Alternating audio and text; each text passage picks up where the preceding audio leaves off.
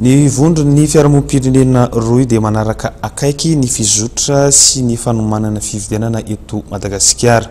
Ho azy ireo dia ilaina ny hisian'ny fanatsarana ny lalàna momba ny famatsiam-bola ny antoko politika sy ny fampielezan-kevitra.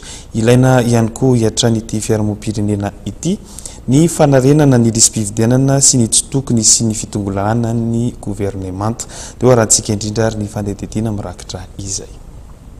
Mbola maro ny lesoka amin'ny fanatanterahana fifidianana, hoy ny vondron'ny fiarahamonim-pirenena rohy, amin'ny alalan'ny Observatoara Safidy. Nambaran'i Mahamoudou Ndrianda fa raha ny lalàna misy dia tsy hahafahana manatanteraka fifidianana ao anatin'ny demokrasia. Ny hahafahana manatanteraka azy tena anaty demokrasia sarotra be satria ilay lalàna mipiraka izany be dia be izany zavatra tsy mitombina ao anatiny.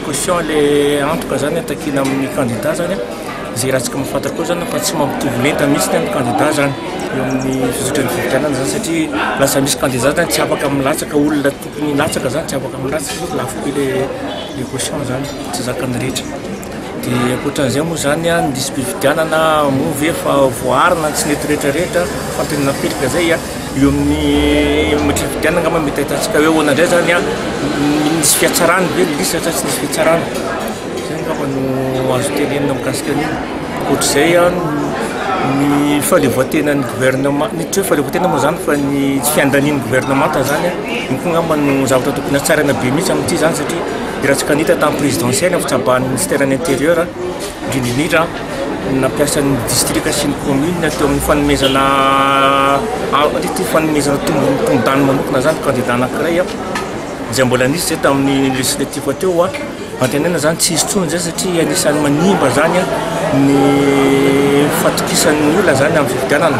Araka izany, heverin'ny Observatoire Safidy fa ilaina ny hisian'ny fanatsarana ny lalàna momba ny famatsiam-bola ny antoko politika sy ny fampielezan-kevitra. Eo ihany koa ny tokony hanarenana ny lisi-pifidianana ary tsy tokony hisian'ny fitongilanan'ny governemanta.